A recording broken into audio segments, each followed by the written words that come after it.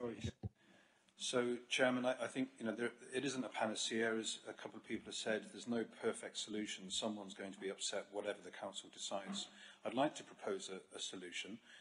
I think enforcement of un unauthorised vehicles um, going through the gate you know, hasn't worked, and if we continue under the same terms, then it will continue to fail. So we shouldn't carry on doing the same thing. Something radical has to change.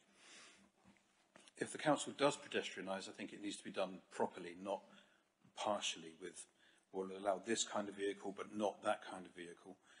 Um, Leighton Buzzards High Street isn't configured like other towns where pedestrianisation has worked well and continues to work well decades later. Um, because those high streets do have vehicle access to the rear of shops and the, the flats, residential flats above those shops. So big, heavy delivery vehicles never need to use the pedestrianised high street of these other towns that are a success.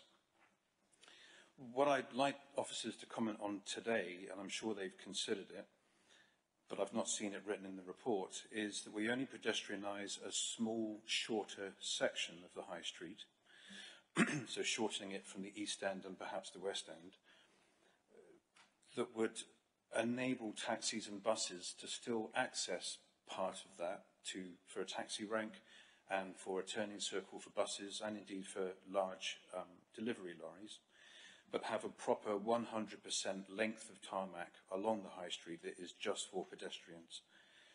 Um, you could also use those turning circle end at the end, each end of the high street for disabled bays.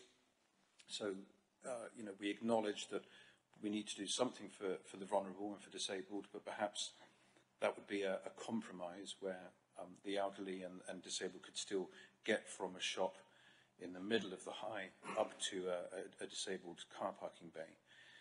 And by having that length of 100% closed off pedestrianisation, there would be no more confusion or frustration, or indeed need for a, for a salaried officer to go around enforcing, giving tickets and, and having antisocial behaviour, as we've seen.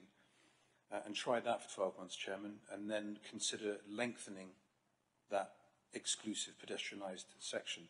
Anything else will continued in, in uh, will result in continued frustration. Perhaps officers could comment. Okay, so I think that comes to the end of our speech.